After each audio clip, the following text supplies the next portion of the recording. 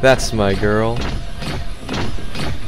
So, I poured water on myself, and it didn't work.